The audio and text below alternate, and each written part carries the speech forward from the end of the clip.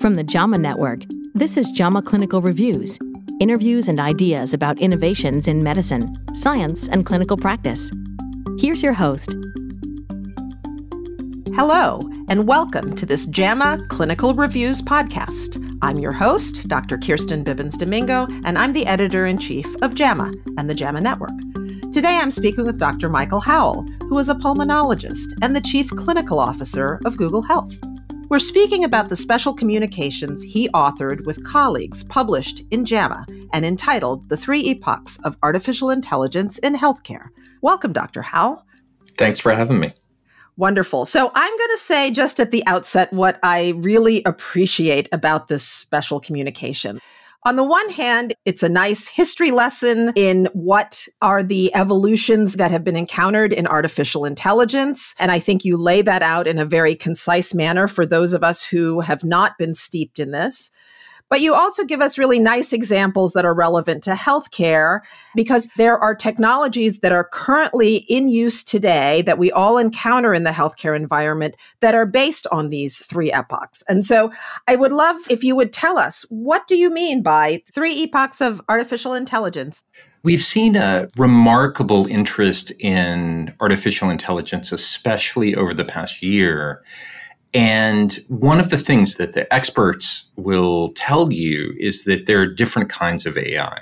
The main point of the piece is to lay out a really simple framework for three buckets of AI. Of course, it doesn't encapsulate every possible different type. As somebody who primarily has been a clinician and a health systems person, but moved into the field closing on a decade ago, it's been really helpful to understand that different kinds of AI have different benefits, different capabilities, and different risks. And so the three epochs, which I sort of shorthand as AI 1.0, 2.0, and 3.0, starts back in the 1950s with symbolic AI and probabilistic models. So think about things like IBM's Deep Blue winning the world championship in chess. And that carried us through into the 2000s, where there was a big revolution called deep learning and in the regular part of our lives, we really saw this help us out a lot. So you can search on your phone through thousands of photos that you've taken. You don't have to go and individually tag which of them has a cat and which of them has a dog. It's just able to do that kind of thing.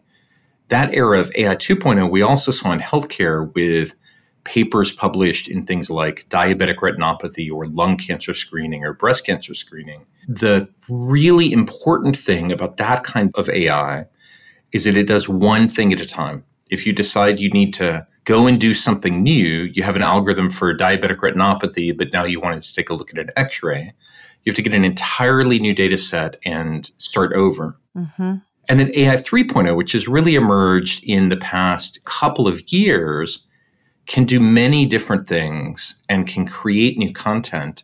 And its behavior can change just with a simple prompt at the beginning. Hmm. So that really nicely lays it out for people who are not steeped in this. One could imagine that this all started a year ago when we are at the anniversary of ChatGPT's launch, but you really lay out what those in the field know, which is, of course, the long history of extraordinary work in this field. But also, the examples you give are really relevant to things we actually still use in healthcare. So even though 1.0 started in the 50s, the decision rules is what I understood from learning your piece that are incorporated in what we might use in computer systems really are using that type of artificial intelligence. Would that be fair? That's exactly right. The thing about AI 1.0 is that it encapsulates human knowledge into computer code. And I think of it as a million if then rules or decision logic flow and the way that that shows up in healthcare, those of us who have written clinical pathways or deployed them, they're a kind of symbolic knowledge of the ways that we think are the best practice to care for heart failure or sepsis or ARDS. And we see those in some systems put into the electronic health record as ways that help clinicians flow through things that they might otherwise forget.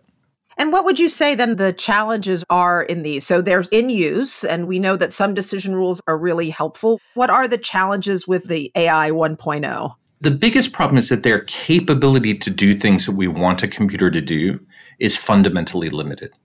And that's just been shown empirically. So if you step over to spam detection for a second, it turns out that writing a spam detector using a whole bunch of if then rules just doesn't work as well as using deep learning by nearly an order of magnitude. And the same thing is true in healthcare that these systems were limited when they encountered the real world, which is messy, they were often brittle for that. And so they tend to be good for simple use cases. But the things we want computers to help us out with, they couldn't do it. And so when I think of 2.0, I guess I think of the ways in which we hope to predict what's going to happen based on a set of information that we have. And this can be useful in clinical settings to predict from sets of images who's likely to go on to get some particular disease or have a complication. Uh, how would I think about what the limitations are or the risks are in AI 2.0? AI 2.0 is really good at either predicting something that's likely to happen in the future or for what we used to call unstructured data, pictures or blobs of text, it's good at classifying those. Does this picture show breast cancer? Does this picture show lung cancer? Or given a set of electronic health record data, is this patient likely to go on to be admitted to the hospital or things like that? So it's really good at those. The Limitations of this have to do to some degree with capability because they can do one thing at a time. The second piece is that in AI 1.0, bias was a substantial problem because it depended explicitly on the knowledge base of the person who was coding it or the knowledge that they were taking and encoding it. In AI 2.0, the biases that are part of the way that care is delivered in the real world care is biased and unfair in large parts of care delivery, well, that's encapsulated in the data that are captured. The data themselves can be captured in a biased way, and there can be other algorithmic design choices that can cause bias. So, the ability of the deep learning era had some capability limitations, although it had vastly more capabilities than uh, 1.0, and it brought new potential kinds of bias into play.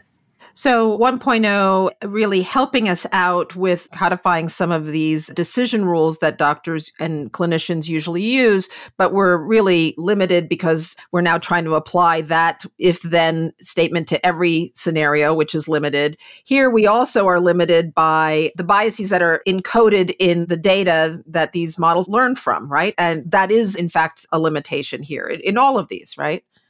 That's right. And to pull the thread on that a little bit, if you, with a deep learning tool, said, predict what's likely to happen, they're often quite good at that. If you said, hey, could you write the next note from the cardiology consultant? Mm-hmm. They were not capable of doing that at all. And so there's a whole category of things that happens in clinical practice that these models just, it wasn't in their capability set. Right. And that leads us so nicely into AI 3.0 because what you're describing in the conduct of healthcare is we want to predict, but we also have the next set of tasks we have to do after we've thought through the logic steps. Tell us again now, 3.0, remind us what we've been all thinking of and immersed in for the last year, what this means for healthcare, what the applications are, and what you see down the road coming in healthcare. And then remind us again what some of the limitations are. So, AI 3.0, there are a number of names. They're all slightly technically different, but for this purpose, it's reasonable to lump them together. And that those names are foundation models or large language models or generative AI. And there are two critical things. One is they can do many different kinds of things just by you telling them what to do. And the second is that they can create new content. And that content hmm. can be text or audio or images, it's sort of arbitrary what it is. What we're seeing with those is the ability for them to understand context, especially in language. we all know that understanding context is amazingly important to having a conversation. It's also amazingly important to healthcare. We're seeing that they're able to generate responses that sound like they're written by a human being and we've seen evidence published by Nature that they can answer complex questions in long form, you know, paragraph, two paragraphs, that are in a blinded study judged by physicians are equivalent to or better than the answers written by physicians. And so those capabilities are new and didn't exist before. The challenges with them are number one, they're new. Mm-hmm. Anything that's new that is introduced into clinical practice, we need to build an evidence base, we need to understand.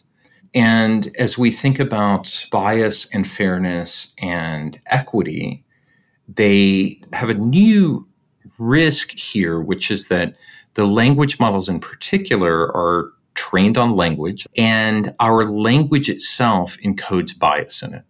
And so there's a new potential kind of semantic bias that you have to be attentive to. And on the research side and on the safety side, we need new techniques like red teaming and adversarial question sets to be able to detect and mitigate bias so that we can hopefully see the equity benefits of democratizing expertise that we're hopeful that these kinds of models can bring you highlight bias in each of the epochs, but also it's really interesting to think through the various ways in which these limit what can happen. But I think for many, we already have been seeing the real potential in healthcare for this new era that we're in. What would you say is the main take home you'd like clinicians to know? The reason that we are interested in publishing work like this, even though there are pieces that are technical in nature, we have been thinking that it's important for clinicians to really have an understanding of these technologies as they will be important for many aspects of healthcare. What is it that you would like clinicians to be aware of? I think that if you haven't with your own hands gone and played with one of these consumer level models, Bard or ChatGPT or Claude. There are a bunch of them that are out there. If you haven't done that, it's worth your time to do it to get a feel for it. There's not a substitute to having your own experience with them. They're quite different. And then as these enter practice and as they enter the healthcare environment, understanding that artificial intelligence from the AI 1.0 era, AI 2.0 era, and AI 3.0 era have different capabilities and have different types of risk to them. I think that's probably the most important take home from this because it should guide clinical practice, it should guide the regulatory approach, and it should guide the way that we develop an evidence base around these tools. Well, thank you again, Dr. Howell, both for having this discussion with me today and for authoring this piece with your co authors on the three epochs of artificial intelligence in healthcare. Thanks for having me. This episode was produced by Shelley Steffens at the JAMA Network. To follow this and other JAMA Network podcasts, please visit us online at jamanetworkaudio.com or wherever you get your podcasts. Thanks for listening.